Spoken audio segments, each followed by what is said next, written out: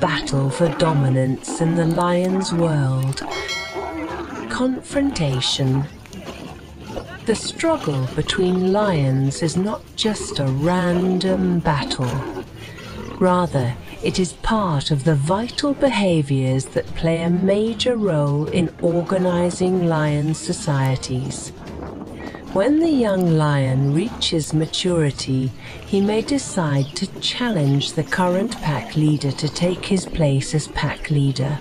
This battle is not only a matter of dignity, but also a matter of survival and continuity of strong genes in the herd. Before the battle begins, each lion studies his opponent.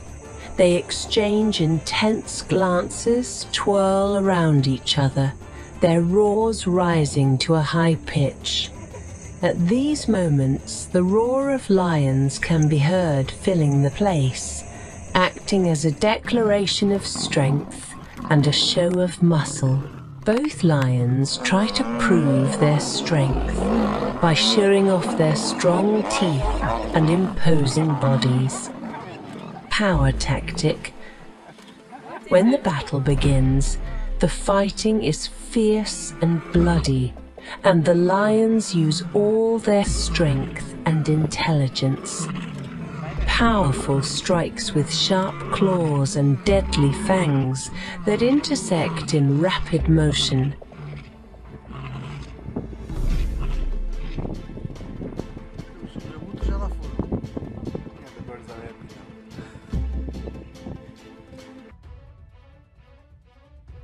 Fighting includes threats and struggle. The best tactic is to strike quickly and then retreat momentarily to reposition. The battle can last from a few minutes to several hours and is full of excitement and strong will. The results of the battle victory and defeat. The battle ends either with the defeat of one of the lions, who withdraws from the battlefield to live in isolation or joins a new herd, or with the victory of one of the lions and consolidating his position as the leader of the herd. Victory is not merely a victory in battle. Rather, it is an acknowledgement of the strength and ability to protect the herd and ensure the survival of its offspring. After the battle, the victorious lion regroups and begins offering his new leadership to the herd. Strength and leadership. From the struggle of lions, we learn a lot about the nature of leadership and survival. In the world of lions, strength is not the only quality required, but also courage and the ability to make difficult decisions. The battle between lions shows that dominance does not come only from physical strength,